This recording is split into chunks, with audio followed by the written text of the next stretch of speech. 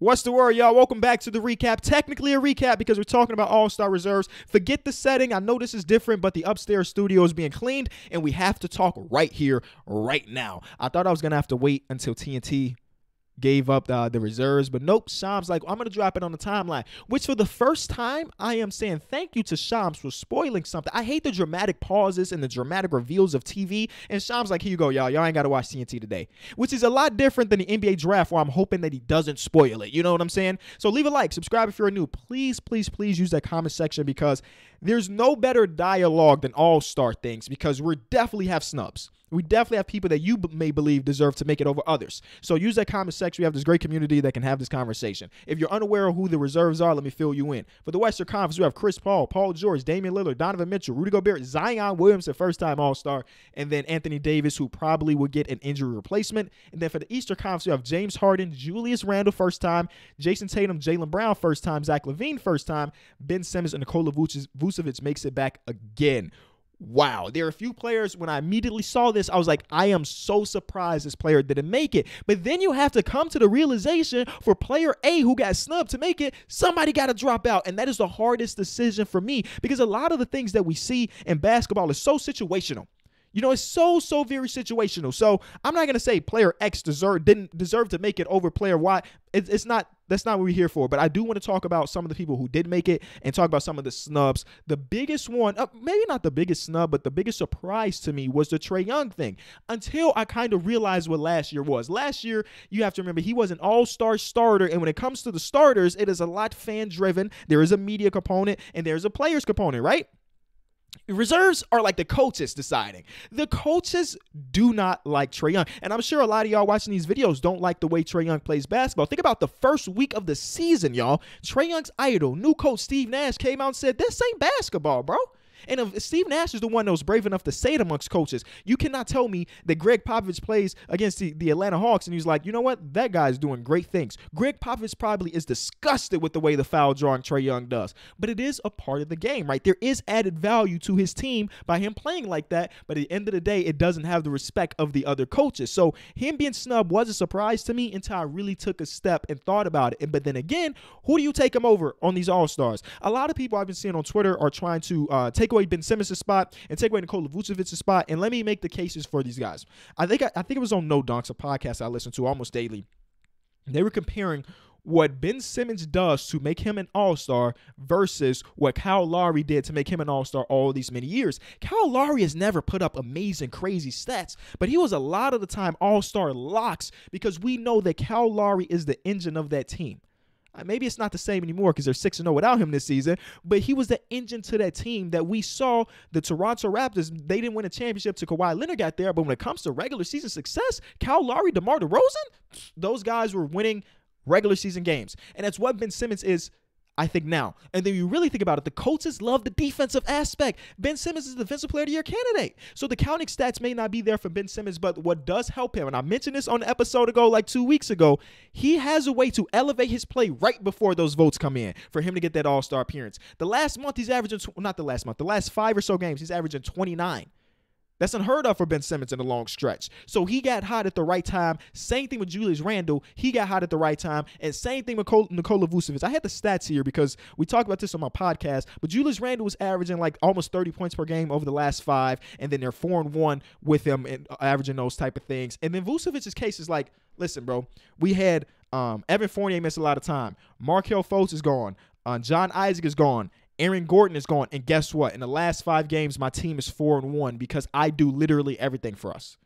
That is his case. Now, does that case is that case stronger than Domantas Sabonis' case is the real question. Now, when you think about NBA All-Star reserve picks historically, they decide typically because it is coaches, they prioritize winning. Who is the best guy on a winning team? The Pacers are undoubtedly a winning team. They did have this stretch where they were like one and five in their last six, and it might have hurt Sabonis' case, but Sabonis is putting up great numbers on a good team that is a playoff team, like a, a playoff lock team. and it has been that for many, many years. So I can understand the Indiana Pacers fans upset about Sabonis not making it for sure. It is crazy to think about this Eastern Conference team. Um, and I, I think I saw this on Twitter as well, where Kemba Walker, Trae Young, and Pascal Siakam were starters last season. Two of them weren't even in the conversation.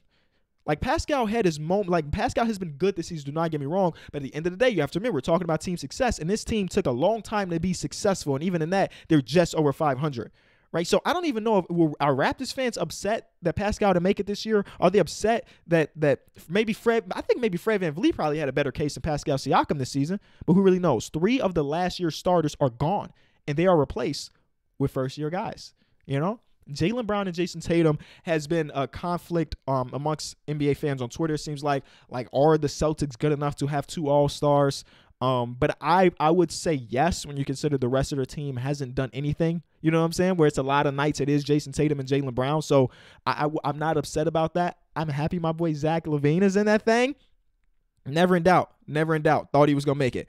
Thought he was gonna make it. So um, I, like I said, there there's not a lot of conflict for me because I don't know who you drop out to make other things work. For the Western Conference, now things get interesting because Anthony Davis is injured and is expected to miss a lot of time. We have one extra spot, and this is where people are penciling in Devin Booker. But you also have to think about like DeMar DeRozan DeMar DeRozan is putting up ridiculously great stats on a team that is all he is in a similar boat of Domantas Sabonis. Obviously, the play styles and positions are different, but he's putting up great stats on a winning team. And if you ask me, this team is excelling more than even I think a lot of people expected it to.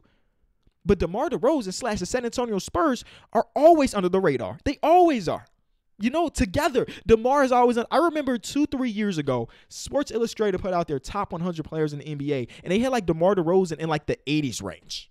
DeMar DeRozan in the 80s range, under the radar there, and then he also plays in San Antonio under the radar, other than them having Tim Duncan, one of the greatest players of all time. They historically been an under radar team. So I don't know if Devin Booker is pencil in.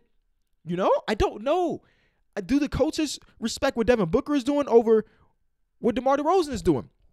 Who would I have in there? It'll probably be D Book. It would probably be D Book. But if it end up being DeMar, I wouldn't be surprised. I don't think it's going to be Brandon Ingram. Um, the Pelicans aren't good enough to get two All Stars. At, at, least I don't think. And they brought in Zion Williamson. People are conflicted about Chris Paul, which tells me you aren't watching Suns games. If you're conflicted that Chris Paul deserves to be an All Star, that is my favorite thing about this one, other than Zach LaVine being a first time All Star. That two years in a row, Chris Paul has this has defied the odds, if you want to say that, and become an All Star player after a couple years of not making it at all. A lot of that is due to him being healthier, and a lot of that is due to him being able to go to teams that may have not projected to be very good and elevate them. Like if you think about the losses they've had this season, a lot of them are like single digit losses. It's very rare that the Phoenix Suns are getting blown out of the water, other than that game that they blew by tw- by 20. But you get what I'm saying. Chris Paul is not a counting stats guy. He's a winning guy. And you know who loves winning? The goddamn coaches who are picking the reserve. So Paul George, I don't have to explain his case to you. Um, he's been amazing when he's healthy and he's on the court. Damian Lillard I would argue he deserved to be a starter, but who really cares? At the end of the day, when you look at resumes, it says All Star. It doesn't say All Star starter. Donovan Mitchell Rudy Gobert lock best team in the NBA record wise, and and Rudy Gobert again doesn't have the counting stats, but he is probably the front runner for Defensive Player of the Year again this year. And then Zion becomes the first player in the in the born in 2000s to make an All Star appearance. Think about that. The first player born in the 2000s to make an All Star appearance. So I think that they gave us a combination because sometimes I wonder like this.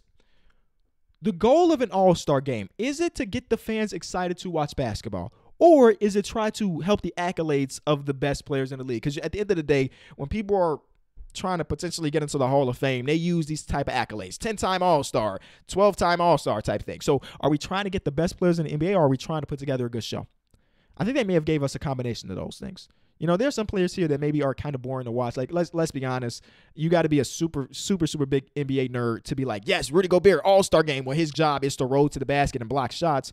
Um, but obviously, he's deserving. He's one of the top 24 most impactful players in the NBA right now. So.